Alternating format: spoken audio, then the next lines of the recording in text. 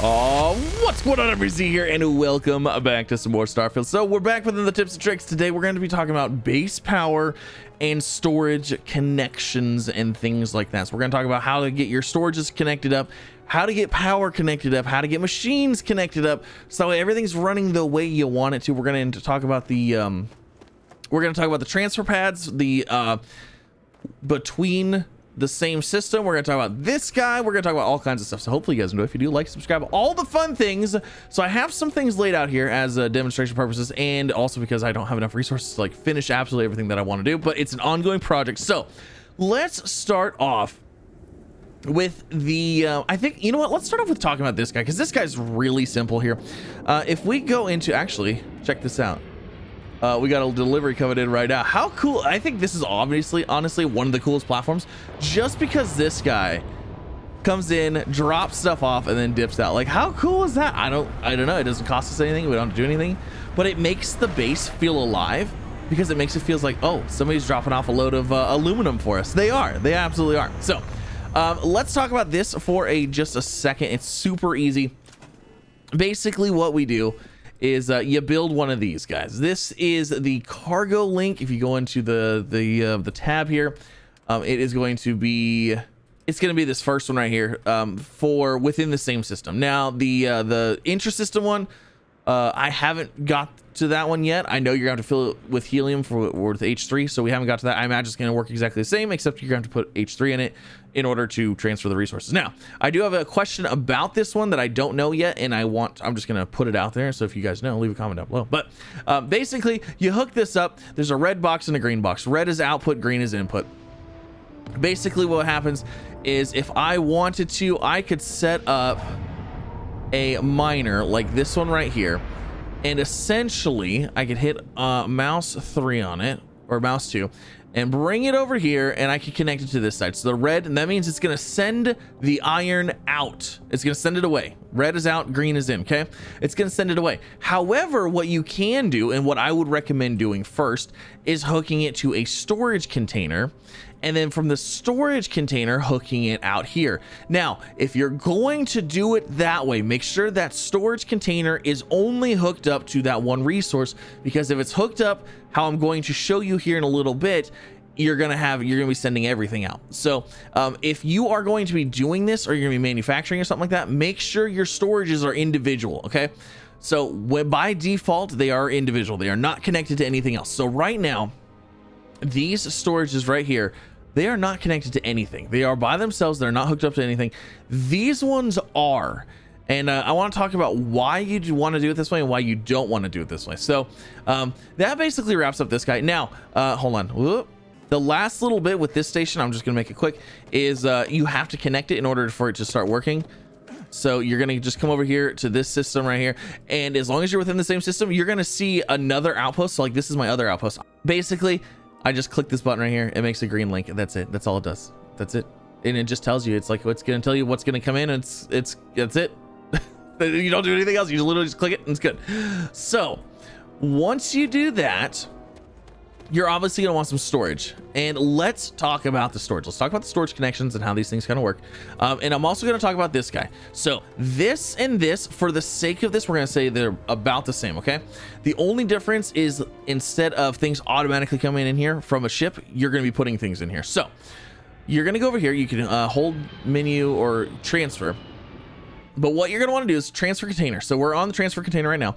Um, same thing that as always, you can go to your inventory. We can put inventory items in here if we want to, or the ship. So I want to go to the frontier. So the frontier is in here. Now, let's say I had some resources that I wanted to throw in here. Okay. Let's say I have um, these chlor sands I want to throw in there. I'm going to confirm that. Um, a coffee bag, no. Let's do uh, a comm relay. Let's just, I'm going to just do some random stuff. And the reason I'm going to do random stuff is kind of show you uh, what works and what doesn't. So, um, and we'll throw some hallucinogen. Okay, cool. So I have some items in this guy. Now, how this works is however you have it connected, the output, right? It's going to output to a container. So once you put it in here, it's going to say, hey, I need to go to a container. Now, there are four different types of containers in the game. There is gas type containers, which is this one. Storage gas. There is solids, uh, storage solids containers right there. Liquid, obviously, liquids. And then this is a warehouse. So this is a warehouse small. Now there's probably larger ones. I don't have them unlocked yet because, you know, I don't. Um, this is a small warehouse. So this is going to fill in with, I don't even know why. It says it's at 11% right now. That is so weird. uh, there's nothing in it. This says 0%. That one's at 11. Uh, this one says 3. There's nothing in here. Well, anyways, I don't know what's going on with that. Anyways, those can only hold those hold those type of items. So if I go back over here, you're gonna see all of those things are still in here. Um, and the reason for that is because these guys are full. Well, these aren't full. These can only hold uh, raw like like raw resources like you know your iron your cobalt uranium silver tantalum stuff that looks like rocks. If it looks like a rock it can go in here okay? Now if it's a manufactured item so like the um, the manifolds the adaptive frames those can go into your warehouse. So easy enough right? Okay. So let's say i want all of these to get stored into here because I'm actually I'm actually in the process of redoing this a little bit. So this over here is actually my giant store yard. Now, when it comes to this, I'm going to tell you here in a second. Actually, let's just go ahead. Let's get into this.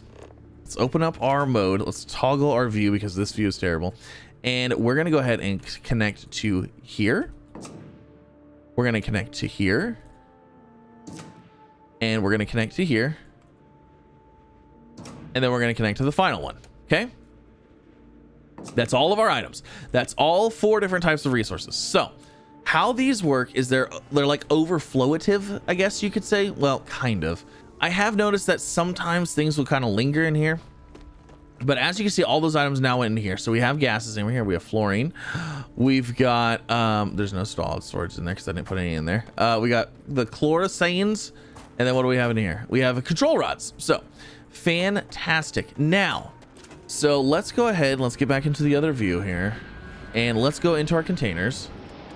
All right, so we have our transfer container, but then we have storage. So we now look at how these connect because this is this was tripping me out and I was like, why won't this connect? Because I wanted to connect to this side. It won't do it, right?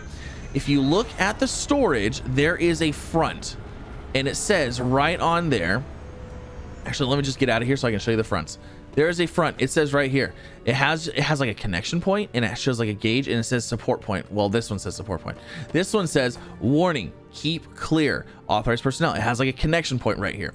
Same thing with this side. So you cannot attach things to this side or this side of the container.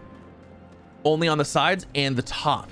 So it's the same with all of these. So that is, if depending on how you want your storage yard, you need to keep that in mind because my other storage yard, see how it's running the other way? That's because my storage fronts are all right here. So that is one thing I was trying to figure out. We got to figure it out. And that's how that works. so let's go ahead and let's add a couple containers uh, because I want to show you how we connect multiple containers to uh, to one another. Let's go ahead. Let's do. Uh, I feel like I have a decent amount of liquid, so let's go ahead and let's throw another liquid. And you know what? Let's just do one of. Let's just do uh, some more solids too. So we'll go ahead and do a solid container there. Okay, so now I have all these containers, right? Cool. And we have our connection points going in from here to these, right? But they're only running into that front container. Because you connected it doesn't do absolutely anything. It doesn't it doesn't transfer anything. It does absolutely nothing. So what you need to do if you want to transfer this is you need to go into here. You need to now when you do this, I'm gonna tell you right now, when you do this, I don't know how to undo it. It's hard. It's hard to undo it. I don't know how to undo it. Um, because normally you hover over this connection point and but as you can see like it's hard to hit the connection point so as you connect to this one so create output link to this container connected create output link to this container basically you are connecting these all to one another now what this does and how this acts is like a funnel so this is the topmost funnel. This will always be the topmost funnel. Everything you add will be underneath of it. So everything that goes into here will try to funnel into this one, so on and so forth. So they will always try to fill up the bottom before they fill up the top one. So it goes in here, it filters all the way down. And there's a reason you want that. There's a reason that that's key for us. Same thing with these. So basically I want to go ahead and make a connection connected to there. So let's go ahead and let's pop out of here. And now well, these will all still look like that because there's none in there. uh, but what we're going to do there, the reason I want to do that is because when it comes to manufacturing. So we're going to talk about manufacturing here in a second, but I want to go ahead and I want to pull some stuff out of here. So like if example, right, we've got this container right here. It's got a whole bunch of stuff in it. I'm gonna go ahead and I'm gonna pull that out of there. I'm gonna pull a whole bunch of stuff out of here. Uh, I'm gonna pull a whole bunch of stuff out of here, right? My inventory is like way full now. But what I actually want to do is uh, I'm gonna go into here. I'm gonna go into here, and I'm actually going to delete the container line going from here and from here because I this side was my first side that I was playing with and I got things figured out. So I don't want those over there. I want them. I want them over here. I want this is my main storage yard. We're gonna be storing it out this way. We're gonna run out this way, and we can also stack on top of each other. So uh, let's go ahead and let's pop out of here.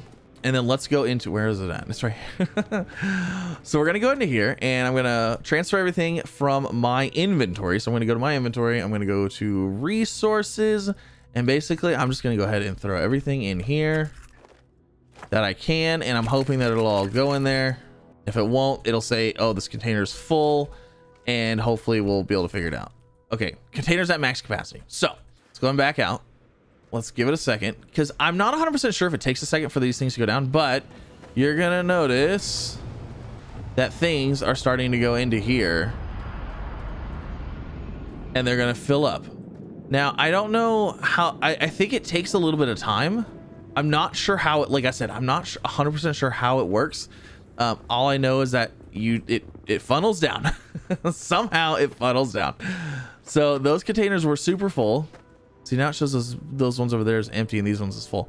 I'm not, again, I'm not 100% sure how this works. Um, so like these items in here. Oh, I know how that works. Okay, so those items, right, they're full. Um, so what we need to do, the reason that they're full, I'm sorry, I did realize this and I forgot.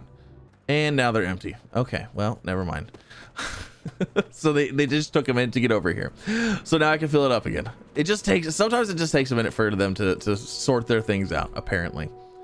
So let me go back in my inventory. Let me grab my uh, resources again, and we're going to continue on. So like I said, cobalt rocks go into the storage, the the the solid storage. I think so do like some bones and stuff like that. So, but that is all now going into. See, that went immediately, and it's trying to fill up these containers first.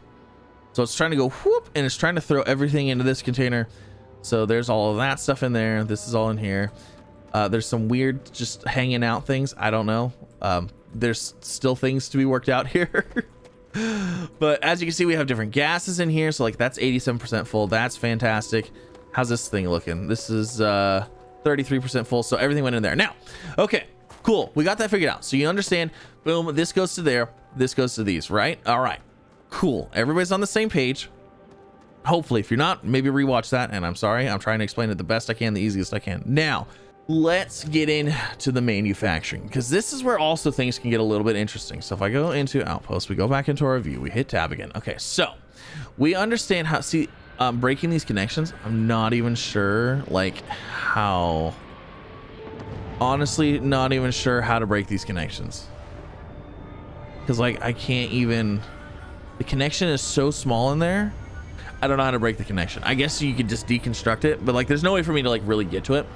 So I don't know if you have a if you if you have an idea, leave a comment down below. Now, let's talk about manufacturing because I obviously have a manufacturer right here. You know what? I'm just gonna go ahead and I'm gonna delete this guy, and I'm gonna delete this guy if I can get to it. All right. So now we want to do some manufacturing.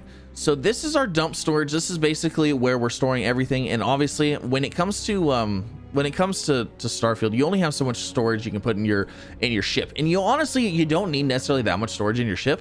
Um, you need it at a base for the most part, but it takes a lot to get going. Once you get the, once you get your base up and running, you're good. So I'm obviously I'm going to try to jump as much storage of raw materials in my base that I don't actively use. You know, like all the resources, all that stuff.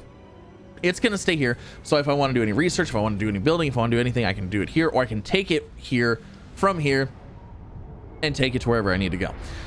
So let's get into manufacturing because one of the most important things that you may need to manufacture is actually uh, some like very basic items. So we're going to go ahead and we're going to pull out a simple fabricator. Now these fabricators are kind of loud and obnoxious and where you do this kind of depends. So what I want to actually do I'm trying to figure out where I want this to actually run at. I think I'm actually, you know what? I'll just leave it right here. It'll be fine. Um, where's our screen at? Okay, so our screen is on this side. So I don't like that. I'm going to go ahead and swap and make the screen go on this side. Yeah, that looks better. Okay. Also, if you want a little tip with with the base building and trying to get things lined up, if you try to basically line yourself up, your camera so you're perpendicular with whatever you're building, and you swap it, it'll always it'll try to keep that same angle. So I'm gonna go ahead and I'm going to place this here. Now I could go ahead and place some more down, but I don't really care right now because I'm only gonna start working on one thing. And then I'm also gonna place a, um, a powered switch and that'll become, you'll see a reason here in a second. So there's those. All right. So now that we have that, this guy wants iron and aluminum because it's producing adaptive frames. Now to get those resources to this, you need to connect it from the end container. Whatever container is your last container. You can't connect it from here because like I said, everything's funneling down. You want it at the bottom, absolute bottom of the of, of the barrel. Unless for some reason you don't want to use your resources to make a resource, which I could completely understand. Um, but that's also why we have a switch, and I'll get to that in a second. So I'm going to go ahead and create an output link from this container to this fabricator deal right here create the link, and then what I want to do. So that is uh, here. Let's go ahead and let's just actually look at it real quick so you can see what's going on here. So now that I did that, it is going to have. Uh, well, okay, I didn't. iron and aluminum. Hold on. Let's go over here. Let's grab some iron and aluminum. I also don't know why these containers aren't filling up. Not really sure. But I'm going to go through and grab all this out of here. We're going to delete these here in a second anyway, so I, I really don't care. But I'm actually going to go ahead and put these in the transfer deal, so that way um, I don't have to worry about it. And then we're going to go to inventory, resources, and we're going to just dump everything. Now, I'm hoping everything can fit in there, but I might not. It cannot. Okay. And the reason for that, oh, no, should be good now. Yeah, it just takes a second. So like when you're loading it up, all right, and then we come out and then it goes back in. Okay, cool. So now it's going to get thrown in there. So now, now that I have all that thrown in there, this is going to show all of the iron and aluminum that I have in all of those containers. So 37 and 60. Okay, cool. And it's it's it's already started. It's already making this. Now that's where I had an issue. I was like, okay, well, I don't want this thing running all the time. How do I get this to shut off? Because I went into the menu. There's nowhere to like, you know, stop or anything like that. So what you have to do, and this doesn't, this is not on if you, uh, this is not on this menu. So if you go into this menu, you go into here, you go into tab, this, there's no like wiring thing. It doesn't say like, oh, make connection point or anything like that. What you actually have to do is you have to be in normal mode. And uh, what you're to do is hold E. It's to bring up this. And then you have to go to wire. I want to wire it to the switch right here. And then you need to go to a power source. So this power source produces six power. These only produce four. So I'm going to go ahead. I'm going to use this power right here. I'm going to activate. I'm going to wire to the switch.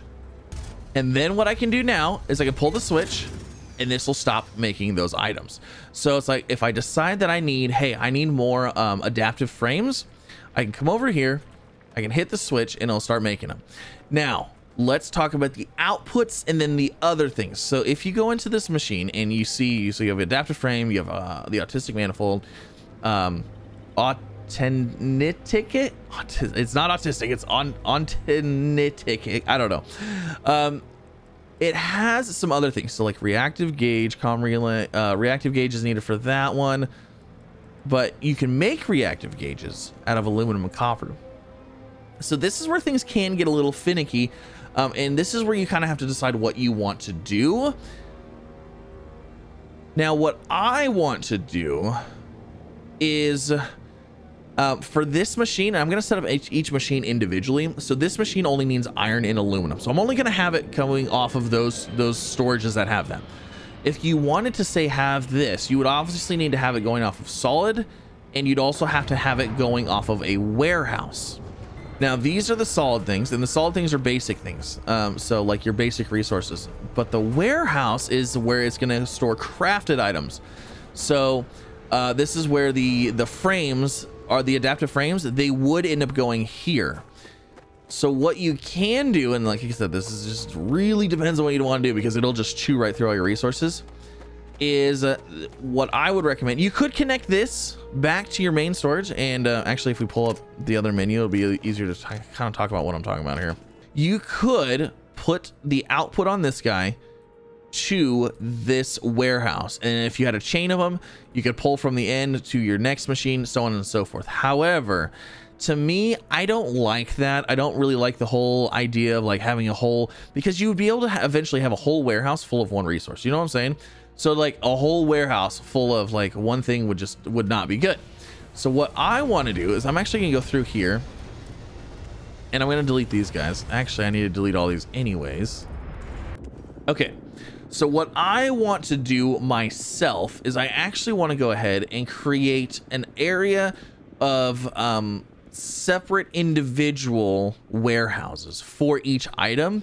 And then depending on what I need, I can connect those items. So this is our main warehousing area right here. And I want to make, I'm going to make another smaller one. I think right over here. So let's go ahead. Let's grab a, uh, let's grab a warehouse. Now I need to make sure that this is not the front. Storage. Okay, so the percentage is right there. That's fantastic. So what I'm going to do is I'm actually going to go ahead and move it right here. I'm going to place that down because now they're going to stack next to each other, which is fine. So I'm going to place an, uh, oh, missing resources. Wow. Okay, I guess I'm only building one. That's it. So now what I'm going to do is I'm going to go ahead and I'm going to set the output of this guy to here, create output link. So now what's going to happen is those adaptive frames that this makes are going to go into this storage. So this storage is going to have adaptive frames. And then when I need to make something that requires adaptive frames for another machine, I'm going to have this be an input for that next machine, if that makes any sense. So that way I'm not bringing this item back into this warehousing system, if that makes sense. These are like the dump systems. This is the stuff you pick up while you're gone. If you happen to have some adaptive frames in there, that's fantastic. Um, but if you don't, then you can go ahead and queue up some to be made. Now, when you are building stuff, it pulls from all of your storages that you have. So like if I go into build mode, right, and I need uh, a warehouse, I need titanium. I don't have titanium in anywhere on these, anywhere, like none. Uh, if I need gas, it's, it's, pulling from everything. It's pulling from my ship. It's pulling from the storages. It's pulling from the base. It's pulling from absolutely everything. Um, one thing I do actually need to do though because I forgot, is we actually need to go ahead and get uh, this connection.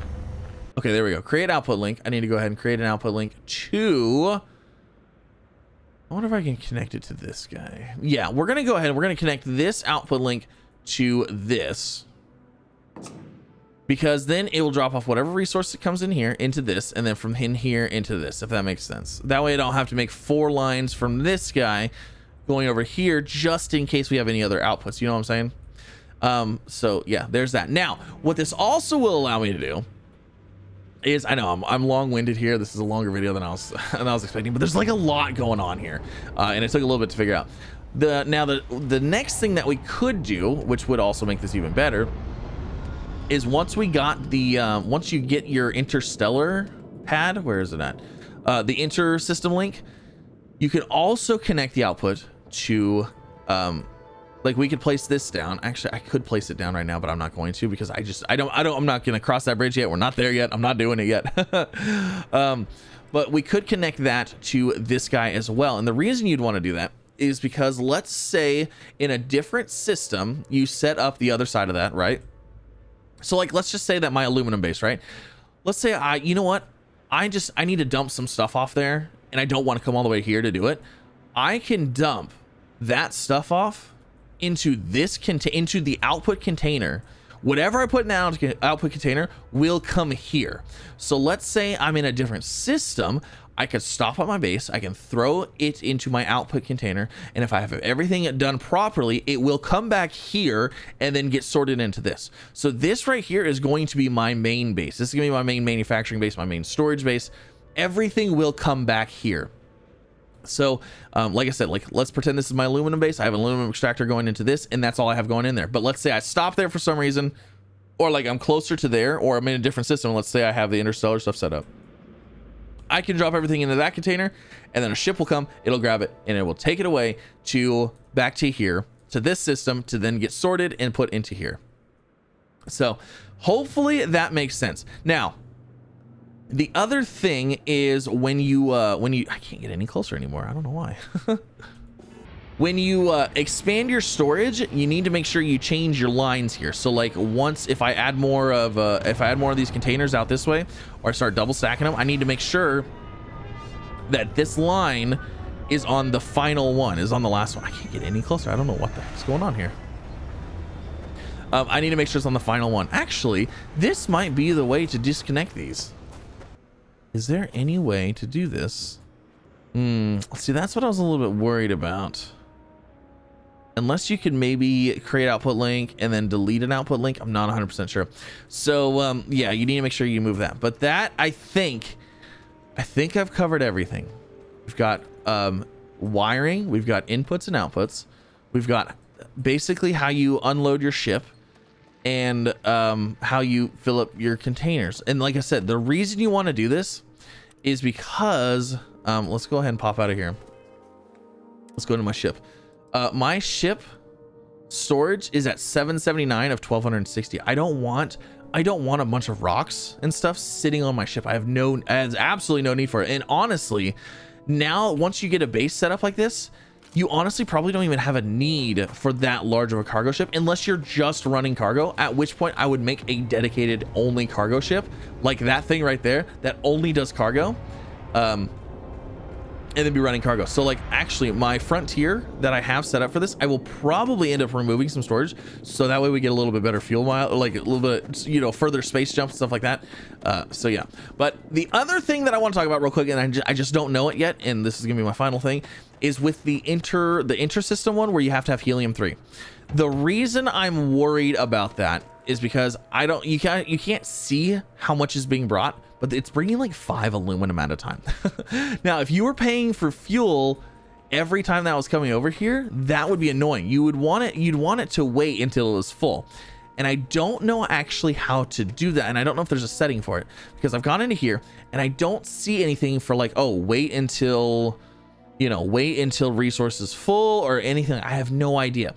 So I'm, I don't know if that's maybe, it might, maybe that's a default thing but then you might not want to wait for it to be full. Like what if it takes what if it takes like you know a full two hours for a container to fill up and you're like well waiting for it and you you know what i mean? So there needs to be a setting there and i don't know how to do it yet. So if you know how to do it leave a comment down below. Um, but hopefully that helps and hopefully that figure you guys got you know stuff figured out here. Oh yeah, this was fun. It was fun figuring all this out, but I got it figured out and I think it's great and I think it's fantastic. And honestly, uh, the manufacturing thing, I think is really cool. I'm actually really excited to get into this. I want to set up machines for basically everything. Uh, so like this one machine right here can already make like what a, a dozen items, half dozen items. Um, I want to basically go ahead and get it all set up for it. So this is my main area, but we also need, I need all of the resources being brought here. So um, I'm gonna have to go to other systems, set up other bases, get things brought here but it's gonna be fun. It's gonna be really cool. Now um, another thing that i i do want to mention is this thing right here says it can be hooked up to two sys or to two um platforms. I have not tested what happens if i build a third platform in this system and i can and i if i try to connect that platform to this platform where this would have two incomings instead of just one. I don't know that that works. I haven't I haven't tried tried that yet, so stay tuned for that. I'll I'll try to you know cover that in a future video, but um, I'm not sure. So like if you have four, if you have them all going to the same place, I'm not sure how that works. I'm not sure if it even does work because it says specifically two on there, but I don't know. So um, yeah, but thanks again for coming out. Have an absolutely fantastic rest of your day. And uh, I think that's it. I think I got everything wrapped up here. Oh, also, uh, this adaptive frame machine, this thing is going to absolutely be on because we need adaptive frames for absolutely everything. So I'm going to leave that on until this storage right here is full. Um, once this storage fills up, that thing will stop, and then the aluminum and iron will stop being used. And then I'm probably also going to go ahead and get more iron and aluminum being made or being brought in because of that machine now sucking it all up. so, yeah, but leave a comment. Let me know what you think. Hopefully this helped. And I am sorry, this is a long-winded video. But there was a lot of information to cover, I think. So, yeah. But thanks again for coming out. Have a wonderful day. I'll see you in the next one. Bye, everybody.